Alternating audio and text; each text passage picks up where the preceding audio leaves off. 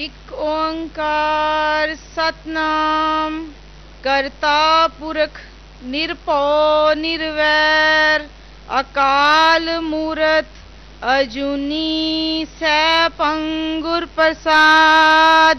ਪਰਮ ਸਤਿਕਾਰਯੋਗ ਸਾਧ ਸੰਗਤ ਜੀ, ਵਾਹਿਗੁਰੂ ਜੀ ਕਾ ਖਾਲਸਾ, ਵਾਹਿਗੁਰੂ ਜੀ ਕੀ ਫਤਿਹ। ਅੱਜ ਜੋ ਵਿਚਾਰ ਮੈਂ ਆਪ ਜੀ ਦੇ ਨਾਲ ਸਾਂਝੇ ਕਰਨੇ ਹਨ। ਉਸ ਦਾ ਵਿਸ਼ਾ ਹੈ ਆਨੰਦਮਈ ਪਰਿਵਾਰਿਕ ਜੀਵਨ। ਜਗਤ ਗੁਰੂ ਸ੍ਰੀ ਗੁਰੂ ਨਾਨਕ ਦੇਵ ਜੀ ਮਹਾਰਾਜ ਨੇ ਸਮਾਜ ਨੂੰ ਇਹ ਗੱਲ ਸਮਝਾ ਦਿੱਤੀ ਕਿ ਸੰਸਾਰ ਵਿੱਚ ਰਹਿੰਦਿਆਂ ਹੋਇਆਂ ਮਨੁੱਖਾ ਜੀਵਨ ਤਾਂ ਹੀ ਸਫਲ ਹੋ ਸਕਦਾ ਹੈ ਜੇ ਦੀਨ ਅਤੇ ਦੁਨੀ ਦੋ ਥੰਮਾਂ ਦੇ ਸਹਾਰੇ ਮਨੁੱਖਾ ਜੀਵਨ ਦਾ ਮਹਿਲ ਉਸਾਰਿਆ ਜਾਵੇ। ਜਿਸ ਨੇ ਦੁਨੀ ਤਿਆਗੀ, ਉਹ ਵੀ ਦੁਖੀ ਹੋਇਆ ਤੇ ਜਿਸ ਨੇ ਦੀਨ ਤਿਆਗਿਆ, ਉਹ ਵੀ ਭਟਕਦਾ ਹੀ ਰਿਹਾ। ਭਗਤ ਕਬੀਰ ਜੀ ਫਰਮਾਉਂਦੇ ਹਨ, ਕਬੀਰ, ਦੀਨ ਗਵਾਇਆ ਦੁਨੀ ਸਿਓ ਦੁਨੀ ਨਾ ਚਾਲੀ ਸਾਥ, ਪਾਏ ਕੁਹਾੜਾ ਮਾਰਿਆ ਗਾਫਲ ਆਪਣੇ ਹੱਥ।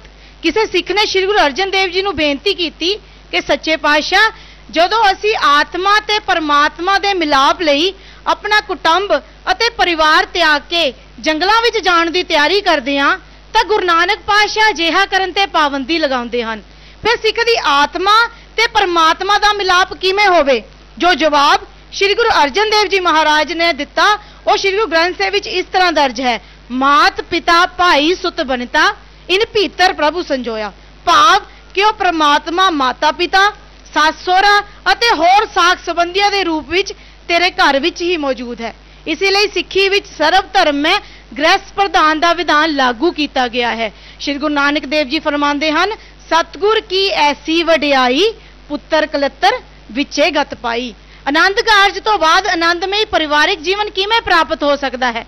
ਇਸ ਗੱਲ ਦਾ ਉੱਤਰ ਸ੍ਰੀ ਗੁਰੂ ਅਮਰਦਾਸ ਜੀ ਮਹਾਰਾਜ ਰੋਜ਼ਾਨਾ ਆਨੰਦ ਸਾਹਿਬ ਵਿੱਚ ਦਿੰਦੇ ਹਨ। ਆਨੰਦ ਆਨੰਦ ਸਭ ਕੋ ਕਹੈ, ਆਨੰਦ ਗੁਰੂ ਤੇ ਜਾਣਿਆ। ਭਾਵ ਗੁਰੂ ਦੱਸੀ ਜੀਵਨ ਜੁਗਤ ਅਨੁਸਾਰ ਜੀ ਕੇ ਹੀ ਪਰਮ ਆਨੰਦ ਦੀ ਪ੍ਰਾਪਤੀ ਹੋ ਸਕਦੀ ਹੈ।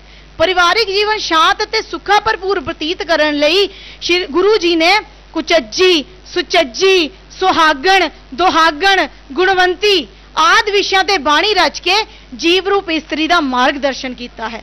ਇਸ ਰੋਹਾਨੀ ਸੰਦੇਸ਼ ਨੂੰ ਸੰਸਾਰੀ ਰੂਪ ਵਿੱਚ ਢਾਲ ਕੇ ਆਦਰਸ਼ਕ ਪਤੀ ਪਤੀ ਪਤਨੀ, ਪਤੀ ਪਤੀ ਪਤਨੀ ਬਣ ਕੇ ਇਸ ਮਨੁੱਖਾ ਜੀਵਨ ਨੂੰ ਪ੍ਰਮਾਤਮਾ ਵਿੱਚ ਅਪੇਦ ਕਰਨ ਦੀ ਟ੍ਰੇਨਿੰਗ ਅਸੀਂ ਇਸ ਪਰਿਵਾਰਿਕ ਜੀਵਨ ਵਿੱਚੋਂ ਹੀ ਲੈਣੀ ਹੈ। ਗੁਰੂ ਸਾਹਿਬ ਫਰਮਾਉਂਦੇ ਹਨ, ਪੇਯੜੇ ਸ਼ੋ ਸੇਵ ਤੂੰ, ਸੋਰੜੇ ਸੁਖ ਬਸ, ਗੁਰਮਿਲ ਚੱਜ ਅਚਾਰ ਸਿੱਖ, ਤੁਧ ਕਦੇ ਨਾ ਲੱਗੇ ਦੁੱਖ। ਆਨੰਦਮਈ ਪਰਿਵਾਰਿਕ ਜੀਵਨ ਦੇ ਨਿਰਵਾਹ ਲਈ ਇਹ ਪਹਿਲੀ ਸ਼ਰਤ ਹੈ ਕਿ ਪਤੀ ਅਤੇ ਪਤਨੀ ਦਾ ਸੁਭਾਅ ਆਪਸ ਵਿੱਚ ਮਿਲਦਾ ਹੋਵੇ। ਪਤੀ ਅਤੇ ਪਤਨੀ ਲਈ ਹੁਕਮ ਹੈ, ਫਿਰ ਧਨ ਫਿਰ ਇਹ ਨਾ ਆਖੀਣ ਬਹਿਣ ਇਕੱਠੇ ਹੋਏ, ਏਕ ਜੋਤ ਦੋਈ ਮੂਰਤੀ, ਧਨ ਫਿਰ ਕਹੀਏ ਸੋਏ। ਸ਼੍ਰੀ ਗੁਰੂ ਨਾਨਕ ਦੇਵ ਜੀ ਮਹਾਰਾਜ ਨੇ ਮਰਦ ਪ੍ਰਧਾਨ ਸਮਾਜ ਵਿੱਚ ਇਨਕਲਾਬ ਲਿਆਂਦੇ ਹੋਏ ਪਤਨੀ ਨੂੰ ਵੀ ਪਤੀ ਦੇ ਬਰਾਬਰ ਦਾ ਦਰਜਾ ਦਿੱਤਾ ਹੈ। ਤੇ ਪਤੀ ਦੀ ਇਹ ਡਿਊਟੀ ਲਗਾਈ ਹੈ ਕਿ ਪਹਿਲਾਂ ਉਹ ਆਪਣੀ ਸਿਆਣਪ ਅਤੇ ਲਿਆਕਤ ਨਾਲ ਆਪਣੀ ਪਤਨੀ ਦਾ ਮਨ ਜਿੱਤੇ। ਤਨ ਧਨ ਫਿਰ ਭਾਵੇ, ਤਾਂ ਫਿਰ ਭਾਵੇ ਨਾਰੀ ਜੀਓ। ਉਥੇ ਪਤਨੀ ਨੂੰ ਵੀ ਇਹ ਹਦਾਇਤ ਹੈ, ਫਿਰ ਤਨ ਪਾਵੇ ਧਨ ਫਿਰ ਇਹ ਕਰ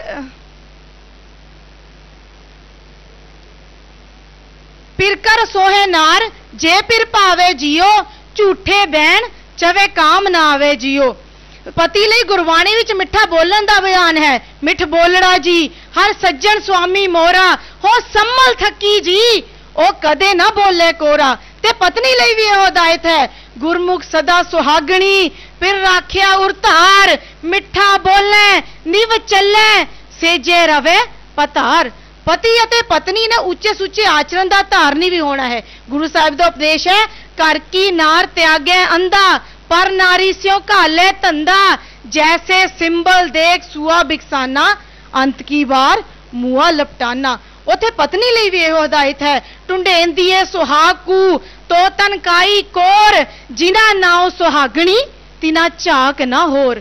ਆਨੰਦਮਈ ਪਰਿਵਾਰਿਕ ਜੀਵਨ ਨਿਰਵਾਹ ਲਈ ਪਤੀ ਪਤਨੀ ਨੇ ਦੁੱਖ ਸੁੱਖ ਸਮੇਂ ਇੱਕ ਦੂਜੇ ਦਾ ਸਾਥ ਦੇਣਾ ਹੈ ਜਾਂ ਸੁਖ ਤਾਂ ਸ਼ੋਰ ਆਵਿਓ ਦੁੱਖ ਵੀ ਸਮਾਲ ਓਏ ਨਾਨਕ ਕਹਿ ਸਿਆਣੀਏ ਇਵ ਕੰਤ ਮਿਲਾਵਾ ਹੋਏ ਆਨੰਦਮਈ ਪਰਿਵਾਰਿਕ ਜੀਵਨ ਨਿਰਵਾਹ ਲਈ ਜਿੱਥੇ ਪਤੀ ਨੇ ਆਪਣੀ ਸਿਆਣਪ ਨਾਲ ਪੂਰੇ ਪਰਿਵਾਰ ਨੂੰ ਏਕਤਾ ਦੇ ਸੂਤਰ ਵਿੱਚ ਪਰੋ ਕੇ ਰੱਖਣਾ ਹੈ ਉੱਥੇ ਪਤਨੀ ਨੇ ਵੀ ਆਪਣੀ ਸਿਆਣਪ ਨਾਲ ਪੂਰੀ ਪਰਿਵਾਰ ਦੀ ਇੱਕ ਚੰਗੀ ਸਲਾਹਕਾਰ ਵੀ ਬਣਨਾ ਹੈ ਗੁਰੂ ਪਾਤਸ਼ਾਹ ਦਾ ਉਪਦੇਸ਼ ਹੈ 32 ਸੁਲਖਣੀ ਸੱਚ ਸੰਤਤ ਪੂਤ ਆਗਿਆਕਾਰੀ ਸੁਗਰ ਸਰੂਪ ਇਚ ਪੁੰਨੀ ਮਨ ਕੰਤ ਸੁਆਮੀ ਸਗਲ ਸੰਤੋਖੀ ਦੇਰ ਜਠਾਣੀ ਸਭ ਪਰਿਵਾਰੇ ਮਹੇ ਸ੍ਰੇਸ਼ਟ ਮੱਤੀ ਦੇਵੀ ਦੇਵਰ ਜੇਸ਼ਟ ਤਾਂਸੋ ਗ੍ਰਹਿ ਜਿਤ ਪ੍ਰਗਟੀ ਆਏ, ਜਨ ਨਾਨਕ ਸੁਖੈ ਸੁਖ ਵਿਹਾਏ। ਸੱਸ ਤੇ ਨੂੰਹ ਦਾ ਰਿਸ਼ਤਾ ਕਿਹੋ ਜਿਹਾ ਹੋਵੇ? ਇਸ ਗੱਲ ਦਾ ਜਵਾਬ ਸਾਨੂੰ ਗੁਰੂ ਤੇਗ ਬਹਾਦਰ ਜੀ ਦੇ ਜੀਵਨ ਇਤਿਹਾਸ ਵਿੱਚੋਂ ਮਿਲਦਾ ਹੈ। ਸੱਸ ਹੋਵੇ ਤਾਂ ਮਾਤਾ ਨਾਨਕੀ ਜੀ ਵਰਗੀ, ਨੂੰਹ ਹੋਵੇ ਤਾਂ ਮਾਤਾ ਗੁਜਰੀ ਜੀ ਵਰਗੀ। ਯਾਦ ਰਹੇ ਕਿ ਮਾਤਾ ਗੁਜਰੀ ਜੀ ਦੇ ਘਰ ਇੱਕੋ ਇੱਕ ਪੁੱਤਰ, ਸ੍ਰੀ ਗੁਰੂ ਗੋਬਿੰਦ ਸਿੰਘ ਜੀ ਦਾ ਜਨਮ ਵਿਆਹ ਤੋਂ ਪੂਰੇ 34 ਸਾਲ ਬਾਅਦ ਹੋਇਆ। ਪਰ ਮਾਤਾ ਨਾਨਕੀ ਜੀ ਨੇ ਕਦੇ ਆਪਣੀ ਨੂੰ ਮਾਤਾ ਗੁਜਰੀ ਜੀ ਨੂੰ ਮੰਦੇ ਬੋਲ ਨਾ ਬੋਲੇ ਤੇ ਨਾ ਹੀ ਨੂੰ ਨੇ ਕਦੇ ਆਪਣੀ ਸੱਸ ਮਾਤਾ ਨਾਨਕੀ ਜੀ ਨੂੰ ਕਿਸੇ ਕਿਸਮ ਦਾ ਕੋਈ ਉਲਾਂਭਾ ਦਿੱਤਾ। ਜੱਜ ਦੀਆਂ ਪੜੀਆਂ ਲਿਖੀਆਂ ਬੀਬੀਆਂ ਭੇਖੀ ਪਖੰਡੀ ਸਾਧੂਆਂ ਦੇ ਮਗਰ ਲੱਗ ਕੇ ਜੰਤਰ ਮੰਤਰ ਛੱਡ ਕੇ ਕਾਗਜ਼ ਦੀਆਂ, ਆਟੇ ਦੀਆਂ ਦੇਵੀਆਂ ਨੂੰ ਪੂਜਣ ਦੀ ਬਜਾਏ ਸੱਚਮੁੱਚ ਦੇਵੀ ਗੁਣਾ ਦੀਆਂ ਮਾਲਕ ਗੁਰੂ ਸੁਪਤਨੀਆਂ ਦੀ ਜੀਵਨ ਤੋਂ ਸੇਧ ਲੈ ਲੈਣ ਤਾਂ ਸਾਡਾ ਇਹ ਪਰਿਵਾਰਿਕ ਜੀਵਨ ਸੱਚਮੁੱਚ ਆਨੰਦਮਈ ਬਣ ਸਕਦਾ ਹੈ। ਸੱਸ, ਸੋਹਰਾ, ਦਿਓਰ, ਦਰਾਣੀ, ਜੇਠ, ਜਠਾਣੀ, ਆਦ ਰਿਸ਼ਤੇ ਨਾਲ ਪਿਆਰ, ਸਤਕਾਰ ਕਿਵੇਂ ਕਾਇਮ ਰੱਖਣਾ ਹੈ, ਇਸ ਗੱਲ ਦੀ ਸੇਧ ਵੀ ਸਾਨੂੰ ਗੁਰਬਾਣੀ ਵਿੱਚੋਂ ਪ੍ਰਾਪਤ ਹੁੰਦੀ ਹੈ। ਪਰ ਜੇ ਬਾਈ ਚਾਂਸ ਸੱਸ, ਸੋਹਰਾ, ਦਿਓਰ, ਦਰਾਣੀ, ਜੇਠ, ਜਠਾਣੀ ਲੜਾਕੇ ਮਿਲ ਜਾਣ, ਤਾਂ ਪਤੀ ਪਤਨੀ ਦਾ ਕੀ ਫਰਜ਼ ਬਣਦਾ ਹੈ? ਗੁਰੂ ਅਰਜਨ ਦੇਵ ਜੀ ਇਸ ਬਾਰੇ ਸੇਧ ਦਿੰਦੇ ਹਨ, ਸੱਸ ਵਰਾਇਣ, ਨਾਨਕ ਜੀਓ, ਸਸੁਰਾ ਬਾਦੀ, ਜੇਠੋ ਪੋਪੋ ਲੂਹੈ ਹੱਬੇ ਭਸ ਬੁਣੇਂਦੇ ਬਤਨ ਜਾਂ ਮੈਂ ਸੱਜਣ, ਤੂੰ ਹੈ। ਹੋਰ ਸਾਰੇ ਰਿਸ਼ਤੇਦਾਰ ਭਾਵੇਂ ਖਾਕ ਛਾਣਦੇ ਫਿਰਨ, ਪਰ ਪਤੀ ਪਤਨੀ ਦੇ ਸੁਭਾਅ ਵਿੱਚ ਕਦੇ ਕੁੜੱਤਨ ਨਹੀਂ ਆਣੀ ਚਾਹੀਦੀ। ਹੁਣ ਅੱਗੇ ਪਿਤਾ ਦਾ ਕੀ ਫਰਜ਼ ਹੈ? ਗੁਰੂ ਅਰਜਨ ਦੇਵ ਜੀ ਫਰਮਾਉਂਦੇ ਹਨ, ਜੈਸਾ ਬਾਲਕ ਭਾਏ ਸੁਭਾਈ, ਲੱਖ ਅਪਰਾਧ ਕਮਾਵੇ, ਕਰ ਉਪਦੇਸ਼, ਝਿੜਕੇ ਉਹ ਭਾਂਤੀ, ਬੋਹੜ ਪਿਤਾ ਗੱਲ ਆਵੇ ਪਿਛਲੇ ਓਗਣ ਬਖਸ਼ ਲੈ, ਪ੍ਰਭ ਆਗੇ ਮਾਰਗ ਪਾਵੇ। ਜੇ ਬਾਲਕ ਗਾਹੇ ਬਗਾਹੇ ਗਲਤੀਆਂ ਕਰਦਾ ਰਵੇ, ਤਾਂ ਪਿਤਾ ਦਾ ਕੀ ਫਰਜ਼ ਬਣਦਾ ਹੈ? ਸਭ ਤੋਂ ਪਹਿਲੀ ਗੱਲ, ਕਰ ਉਪਦੇਸ਼, ਪਾਪ ਪਿਆਰ ਨਾਲ ਸਮਝਾਵੇ। ਝਿੜਕੇ ਉਹ ਭਾਂਤੀ, ਜੇ ਕਦੇ ਝਿੜਕਣਾ ਵੀ ਪਵੇ, ਤਾਂ ਸੰਕੋਚ ਨਹੀਂ ਕਰਨਾ ਚਾਹੀਦਾ। ਬੋਹੜ ਪਿਤਾ ਗੱਲ ਆਵੇ ਮੁੜ ਕੇ ਫੇਰ ਪਿਆਰ ਨਾਲ ਗੱਲ ਨਾ ਲਾ ਲੈਣਾ ਚਾਹੀਦਾ ਹੈ। ਘਰ ਵਿੱਚ ਪਿਛਲੀਆਂ ਗੱਲਾਂ ਨੂੰ ਈਸ਼ੂ ਨਹੀਂ ਬਣਾਉਣਾ ਚਾਹੀਦਾ। ਅੱਗੇ ਹੁਣ ਮਾਤਾ ਦਾ ਕੀ ਫਰਜ਼ ਹੈ? ਸੁੱਤ ਅਪਰਾਧ ਕਰਤ ਹੈ ਜੇਤੇ, ਜਾਨੀ ਚੀਤ ਨਾ ਰਾਖਸ ਤੇਤੇ। ਹੁਣ ਮਾਤਾ ਪਿਤਾ ਤੋਂ ਬਾਅਦ ਸੰਤਾਨ ਦਾ ਕੀ ਫਰਜ਼ ਹੈ? ਇਹ ਵੀ ਗੁਰਬਾਣੀ ਵਿੱਚ ਸਮਝਾਇਆ ਗਿਆ ਹੈ, ਕਿਉਂਕਿ ਮਾਤਾ ਪਿਤਾ ਆਪਣੇ ਬੱਚੇ ਨੂੰ ਪਾਲ ਪੋਸ ਕੇ ਇਸ ਕਰਕੇ ਵੱਡਾ ਕਰਦੇ ਹਨ, ਤਾਂ ਕਿ ਉਹ ਵੱਡਾ ਹੋ ਕੇ ਆਪ ਵੀ ਸੁਖ ਭੋਗੇ ਤੇ ਉਹਨਾਂ ਦੇ ਸੁੱਖਾਂ ਲਈ ਵੀ ਯਤਨਸ਼ੀਲ ਹੋਵੇ। ਗੁਰੂ ਸਾਹਿਬ ਫਰਮਾਉਂਦੇ ਹਨ, ਜਿਉ ਜਨਨੀ ਗਰਭ ਪਾਲਤੀ, ਸੁਤ ਕੀ ਕਰ ਆਸਾ, ਵੱਡਾ ਹੋਏ ਤਨ ਕਾਟ ਦੇ ਕਰ ਭੋਗ ਵਿਲਾਸਾ। ਪਰ ਇਹ ਸਾਡੇ ਸਮਾਜ ਦੀ ਇਹ ਬਦਕਿਸਮਤੀ ਹੈ ਕਿ ਅਸੀਂ ਨਾ ਹੀ ਮਾਤਾ ਪਿਤਾ ਤੇ ਨਾ ਹੀ ਸੰਤਾਨ। ਗੁਰੂ ਦਸੀ ਜੀਵਨ ਜੁਗਤ ਅਨੁਸਾਰ ਜੀ ਕੇ ਆਨੰਦਮਈ ਜੀਵਨ ਨਿਰਵਾਹ ਲਈ ਯਤਨਸ਼ੀਲ ਹੋ ਰਹੇ ਹਨ। ਇਹੋ ਹੀ ਕਾਰਨ ਹੈ ਕਿ ਸਾਡੇ ਸਮਾਜ ਵਿੱਚ ਬਿਰਧ ਆਸ਼ਰਮਾਂ ਦੀ ਗਿਣਤੀ ਦਿਨੋ ਦਿਨ ਵੱਧਦੀ ਜਾ ਰਹੀ ਹੈ। ਚੰਗੇ ਪੜ੍ਹੇ ਲਿਖੇ ਬੱਚੇ ਆਪਣੇ ਮਾਪੇ ਨੂੰ ਚੁੱਕ ਕੇ ਬਿਰਧ ਆਸ਼ਰਮ ਵਿੱਚ ਦਾਖਲ ਕਰਾ ਦਿੰਦੇ ਹਨ। ਮਾਤਾ ਪਿਤਾ ਉੱਥੇ ਹੀ ਤੜਪਦੇ ਤੜਪਦੇ ਆਪਣੀ ਜੀਵਨ ਲੀਲਾ ਸਮਾਪਤ ਕਰ ਦਿੰਦੇ ਹਨ। ਬੇਵਫਾ ਤੇ ਕਰਮਕਾਂਡੀ ਬੱਚੇ ਉਹਨਾਂ ਦੇ ਮਰਨ ਤੋਂ ਬਾਅਦ ਵਰਸੀਆਂ ਭਰੀਣੇ ਕਰਕੇ ਜਲੇਬੀਆਂ ਦੇ ਲੰਗਰ ਲਾ ਕੇ ਕਰਮਕਾਂਡੀ ਹੋਣ ਦਾ ਸਬੂਤ ਦਿੰਦੇ ਹਨ।